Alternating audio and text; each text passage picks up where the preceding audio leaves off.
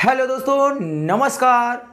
Welcome to this amazing platform top ten classes तो प्यारे बच्चों, आज के वीडियो में हम लोग कक्षा दस की साइंस स्टार्ट करने वाले हैं। तो आज हम लोग जानेंगे कि साइंस क्या है और साइंस कक्षा दस में आपको कितने भाग पढ़ने हैं और मैं आपको क्या पढ़ाऊँगा? मेरी क्लासेस आपको कब मिलेंगी, प्यारे बच्चों?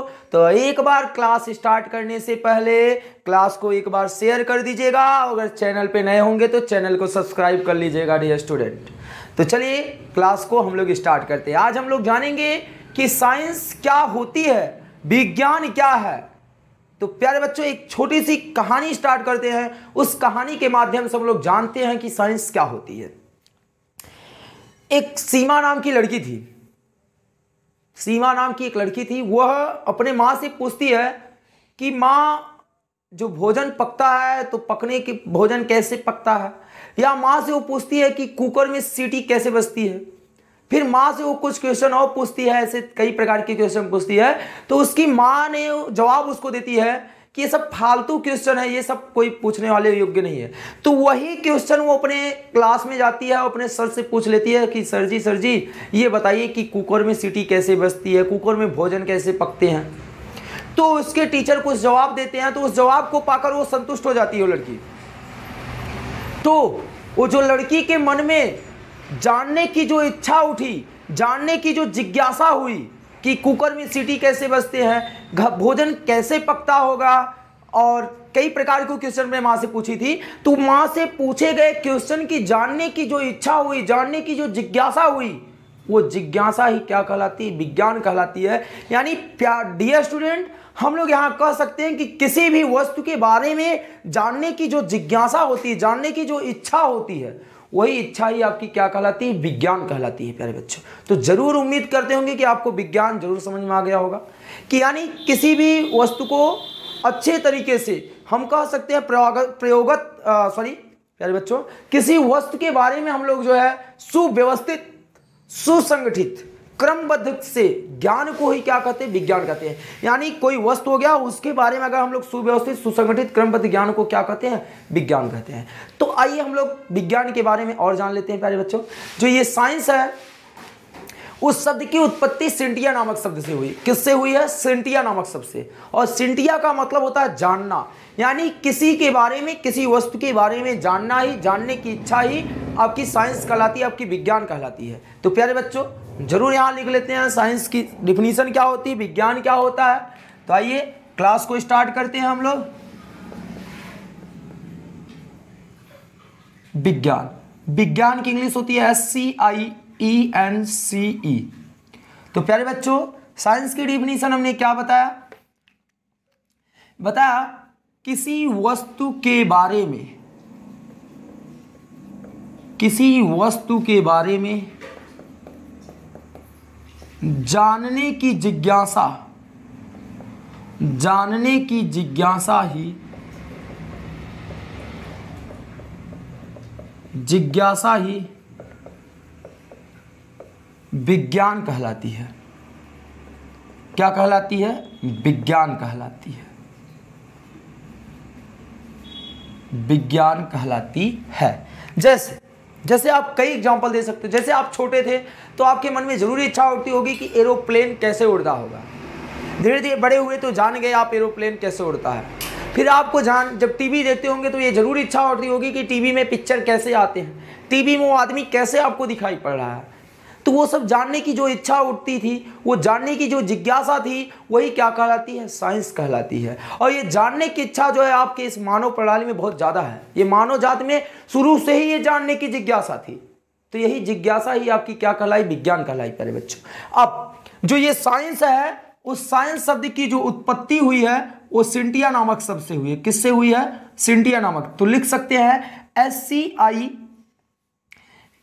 E N C E science शब्द की उत्पत्ति किससे हुई है? साइंस शब्द की उत्पत्ति सिंटिया नामक शब्द से हुई है। किससे? सिंटिया शब्द से हुई है। तो आप चाहो तो इसको हेडलाइन में लिखिएगा, क्योंकि आपको ज़रूरी है ये बातें कि साइंस की उत्पत्ति किससे हुई। तो सिंटिया नामक शब्द से हुई है।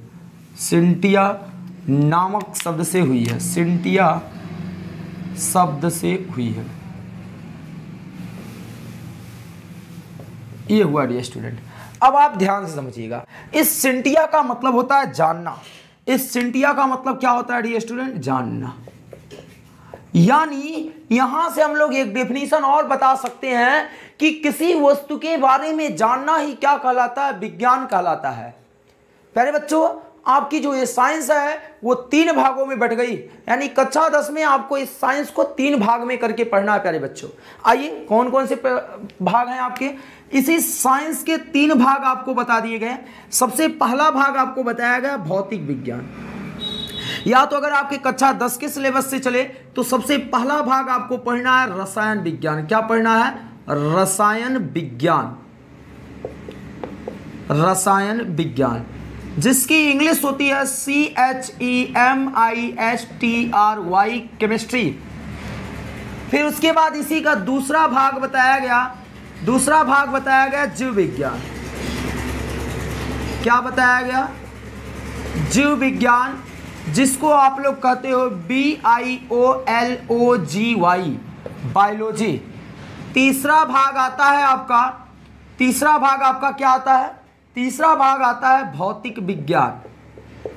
तीसरा आता है भौतिक विज्ञान।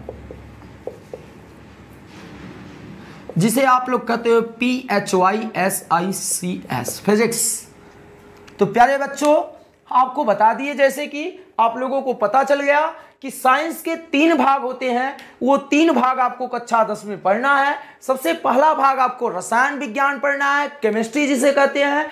दूसरा भाग होता है जीव विज्ञान, तीसरा होता है भौतिक विज्ञान, प्यारे बच्चों। जो कि आपको बता देते हैं प्यारे बच्चों कि सबसे पहले हम जानेंगे कि रसायन विज्ञान क्या है, रसायन विज्ञान के जनक क्या हैं।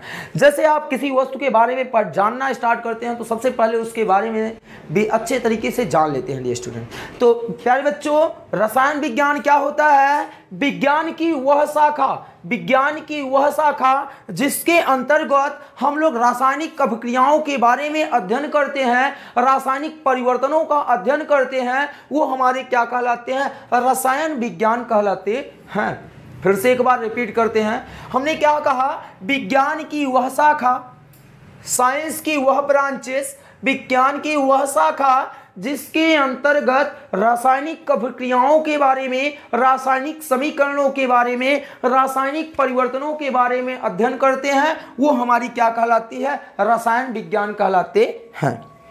क्या कहलाता है? रसायन विज्ञान कहलाता है। ठीक? उसके बाद दूसरा आता है जीव विज्ञान। दूसरा क्या आता है? जीव विज्ञान।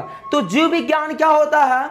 कि विज्ञान की वह शाखा विज्ञान की वह शाखा जिसके बारे, जिसके तहत या जिसके अंतर्गत हम लोग जीवों का अध्ययन करते हैं, जीव जंतुओं के बारे में जानते हैं, वो क्या कहलाता है? जीव विज्ञान कहलाता है। जीव और जंतुओं का अध्ययन कराने वाला जीव विज्ञान, रासायनिक परिवर्तनों का अध्ययन कराने वाला रासायनिक विज्ञान लास्ट तीसरा भाग आता है भौतिक विज्ञान। भौतिक विज्ञान क्या आता है? कि भौतिक विज्ञान, भौतिक, यानी किसी पदार्थ के भौतिक गुणों में होने वाला जो परिवर्तन होता है, भौतिकी गुणों का अध्ययन कराने वाला क्या कहलाता है? भौतिक विज्ञान कहलाता है। यानी अगर हम दूसरे शब्दों में कहें तो आपके प्रकृति का, जो आपका प्रकृति है, प्रकृति में जो फैले हुए आवरण हैं, उनके बारे में अध्ययन कराने वाला क्या कहलाता है? फिजिक्स कहलाता है। और प्यारे बच्चों, इस फिजिक्स शब्द की जो उत्पत्ति हुई है, वो फ्यूसियस नामक शब्द से हुई है। किससे हुई है?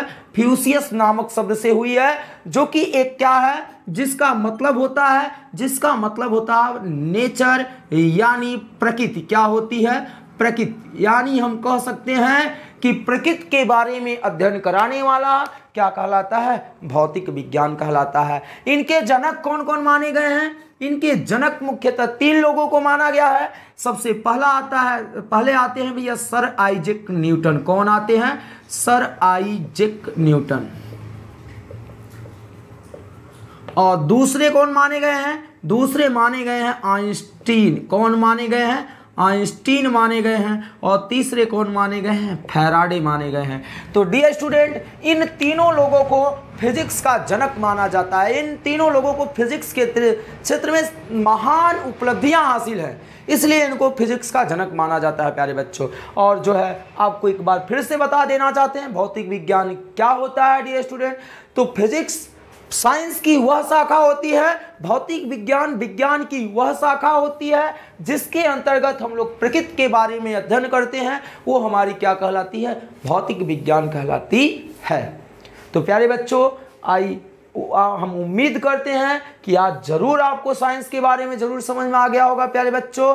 तो और प्यारे बच्चों, एक बात और आपको बता देना चाहते हैं स्टूडेंट इनमें से ये दोनों सब्जेक्ट जो है हमारे कण बैच में आपके की केमिस्ट्री जो है, वो हमारे प्रज्वल सर पढ़ाएँगे और दूसरा जो है जीव विज्ञान यानी बायोलॉजी उसको सचिन सर पढ़ाएँगे और जो तीसरा सब्जेक्ट आता है, जो कि फिजिक्स लिखा गया है, उसको मैं आपका मैं आपको पढ़ाऊँगा, प्यारे बच्चों।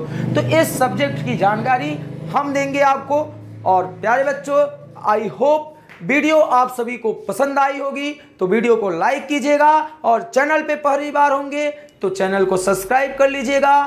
फिर मिलते हैं नेक्स्ट वीडियो में। तब तक के लिए जय हिंद, जय भारत।